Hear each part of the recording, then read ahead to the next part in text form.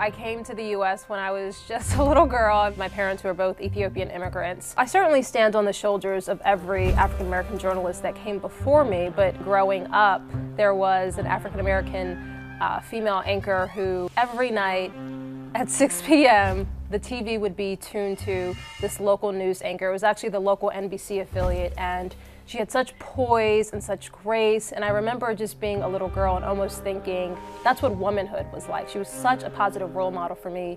And I just knew the way my mom felt about her and watching her as a child and just the way she delivered herself, the way she delivered the news, the way she carried herself made me feel like I might want to do that. And I think that I can do that because she has done that.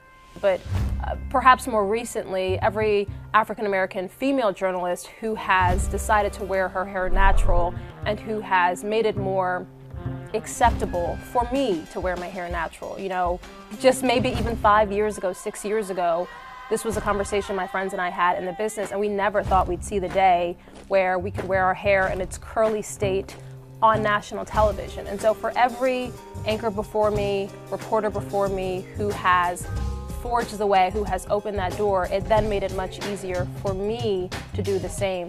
And now I get emails from fathers and parents saying how much of a role model I am for their little girls. And so it goes even beyond just that. It goes beyond just me. It, it then transcends and perhaps even helps the next generation accept who they are fully.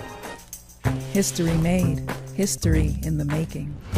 CNBC celebrates Black history